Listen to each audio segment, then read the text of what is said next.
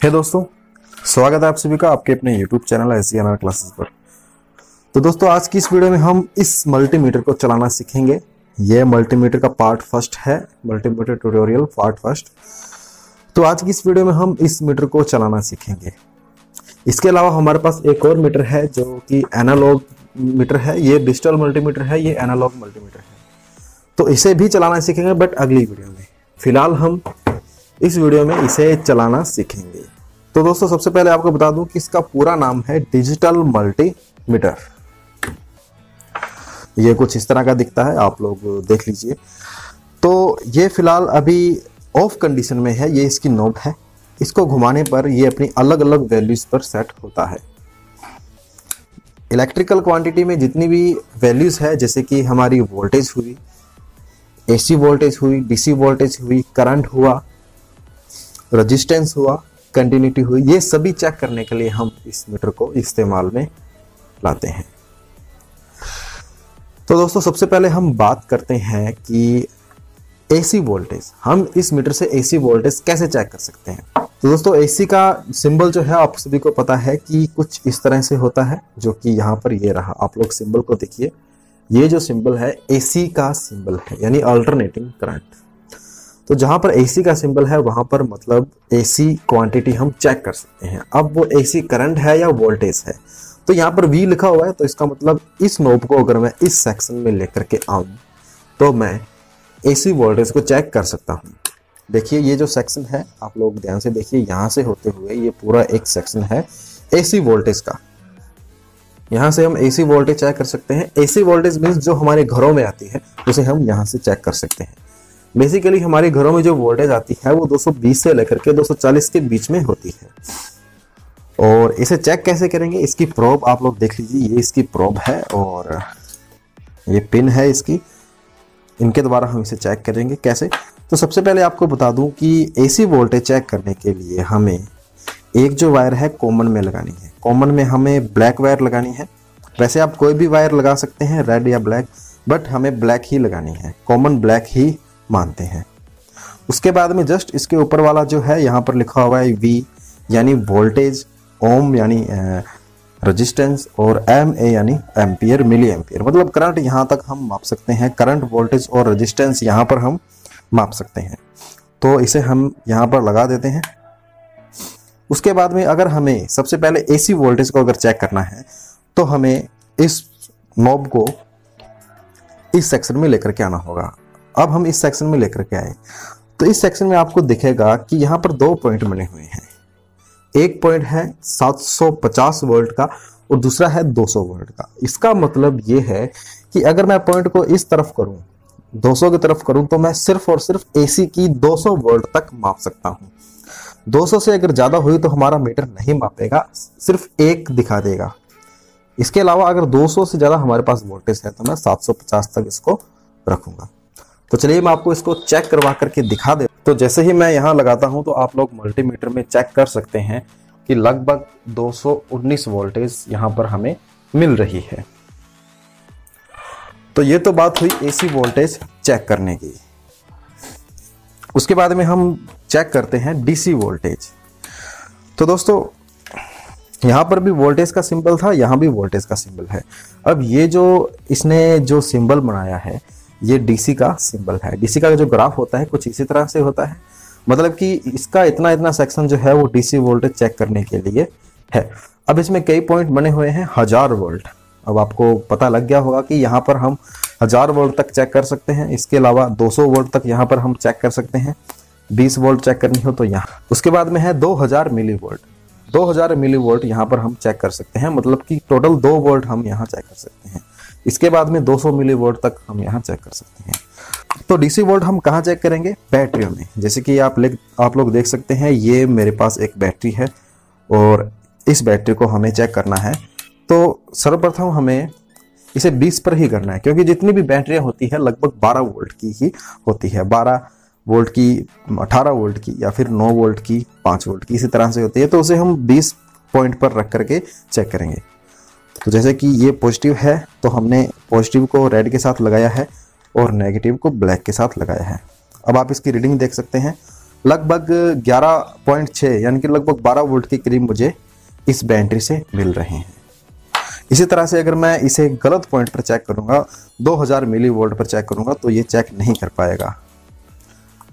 चलिए आपको दिखाई देते हैं। तो अगर मैं इसे चेक करूँगा तो हमारा जो मीटर है, एक दिखाएगा मतलब कि ये इसे चेक नहीं कर सकता। इसी तरह से अगर हमारी जो प्रोब है, वो बाई चांस उल्टी लग जाए तो देखिए क्या होता है। ये माइनस की है, इसे मैं प्लस पे लगाता हूँ और प्लस की माइनस पे लगाता हूँ। तो दोस्तों, होता कुछ नहीं है। हमारा जो मीटर है माइनस का चिन्ह दिखाता है। माइनस का मतलब ये है कि आपकी जो वायर है, उल्टी लगी है। इसके अलावा मीटर डैमेज नहीं होता। तो दोस्तों, इसमें आपको एसी वोल्टेज और डीसी वोल्टेज चेक करना पता लग चुका है। अब इसके बाद में हम इसमें रजिस्टेंस चेक करते हैं। तो देखिए दोस्तों रजिस्टेंस का जो सिंबल है, वो ये ओम होता है। ये जो सिंबल है ओम का सिंबल है और ओम का सिंबल जो है रजिस्टेंस का होता है। यानी कि ये जो इसका इतना इतना जो सेक्शन है, ये सारा का सारा रेजिस्टेंस चेक करने के लिए है। तो चलिए हम इसमें रेजिस्टेंस चेक करते हैं और ये आपको बताने की ज़रूरत है नहीं, क्योंकि 200 ओम तक यहाँ हम चेक कर सकते हैं। 2000 तक 20 किलो ओम तक 200 किलो ओम तक और 2000 किलो ओम तक रेजिस्टेंस हम चेक इसमें कर सकते हैं। तो सबसे पहले हमारे पास जो है ये एक रेजिस्टेंस है, आप लोग इसे देख सकते हैं। इसकी आप कलर कोडिंग अगर आपको आती है तो आप इसे पहचानिए।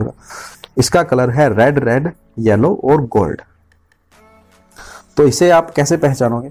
अगर आपको कलर कोडिंग आती है तो आप अवश्य अवश्य पहचान सकते हो। अगर नहीं आती तो आपको मीटर की आवश्यकता पड़ेगी। तो चलिए मीटर से हम चेक कर सकते हैं।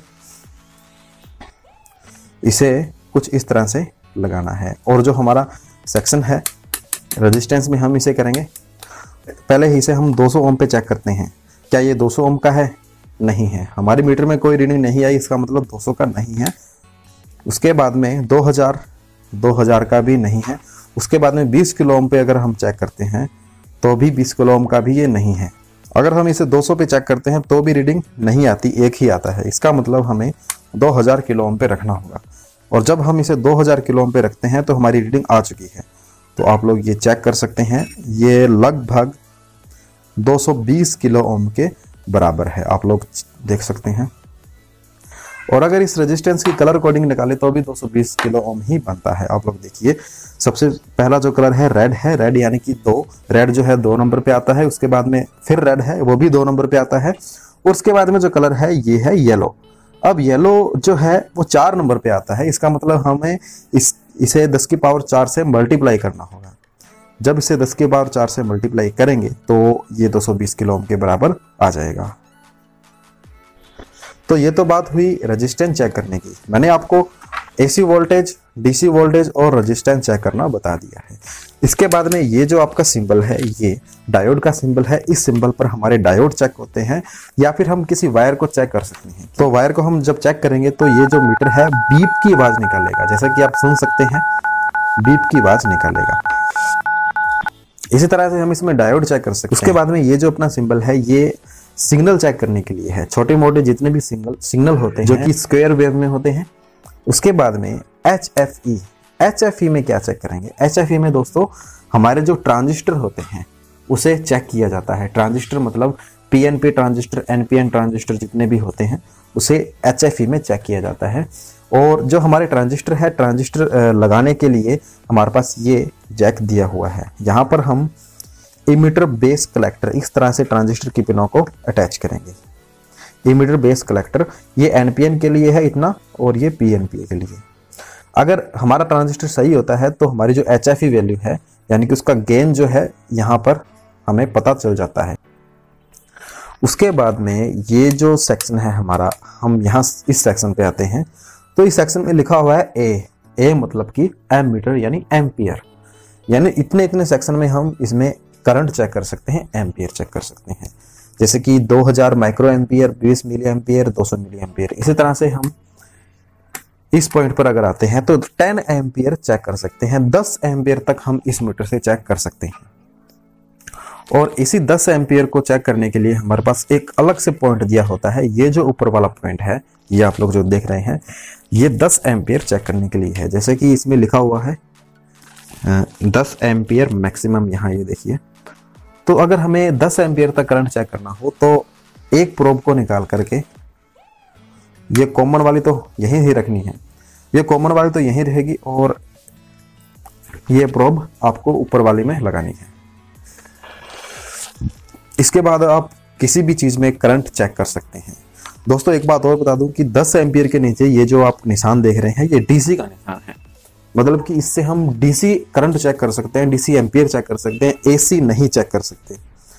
तो चलिए हम इसमें डीसी करंट चेक कर, करते हैं। तो दोस्तों डीसी करंट चेक करने के लिए हमारे पास एक लोड होना चाहिए, जो कि ये है, ये एक डीसी मोटर है।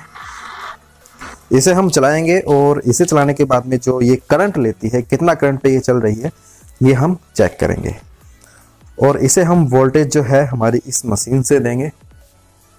तो चलिए करते हैं स्टार्ट तो दोस्तों, ये जो है, ये मशीन की वायर है, आप लोग देख सकते हैं। हमने मशीन को स्टार्ट कर लिया है।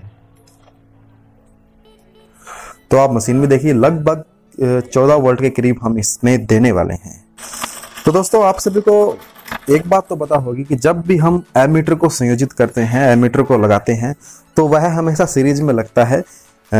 समांतर में कभी नहीं लगता लोड के सीरीज़ में लगता है। तो हमें इस मीटर को लोड के सीरीज़ में लगाना है। तो सीरीज़ में आप लोग कैसे लगाएँगे कि इसकी कोई भी आपको एक वायर ले लेनी है। एक बार ये जो लोड एक बार ये जो सोर्स से आ रही है, हमने इसमें लगाई। और जो दूसरी वायर है, जो मीटर की दूसरी वायर है, ये हमने लोड की वायर के साथ अटैच करी है। तो चलिए हम इसे लगा देते हैं।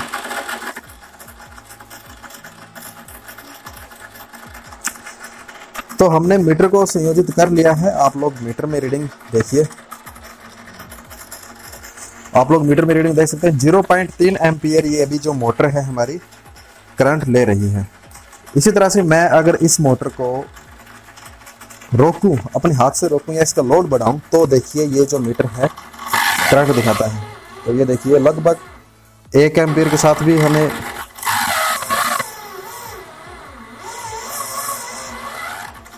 तो दोस्तों, जैसे ही मैं इसको रोकता हूँ, ये करंट ज़्यादा ड्रॉ करती है, ज़्यादा करंट लेती है। आप लोग चेक कर सकते हैं। तो दोस्तों, ये जो सेक्शन था 10 एम्पियर के लिए था, इसके अलावा अगर आपके पास 10 एम्पियर एक एम्पियर से कम करंट है, जैसे कि 200 मिली एम्पियर माइक्रो एम्पियर तो आप इस सेक्शन में चेक कर सकते हैं। और जब आप इस सेक्शन में चेक करोगे तो ये जो आपकी नोब है, नीचे वाले सेक्शन में लगेगी। ये जो नोब है ओनली फॉर 10 एम्पियर के लिए है। तो दोस्तों, ये जो था हमारा छोटा सा मल्टीमीटर का ट्यूटोरियल था। उम्मीद करता हूँ आप सभी को बहुत अच्छा लगा होगा। अगर आपको वीडियो अच्छी लगी तो आप हमारी वीडियो को लाइक कर दीजिए और अपने फ्रेंड सर्कल में इसे शेयर कर दीजिए, ताकि मैं ऐसे ही प्रैक्टिकल आपके लिए लाता रहूँ। इसके अलावा एक ये हमारे पास मीटर है एनालॉग इसके बारे में हम अगली वीडियो में जानेंगे, इसको चलाना हम सीखेंगे। चलिए दोस्तों नेक्स्ट वीडियो मिलेंगे ऐसे ही वीडियो के साथ। Thank you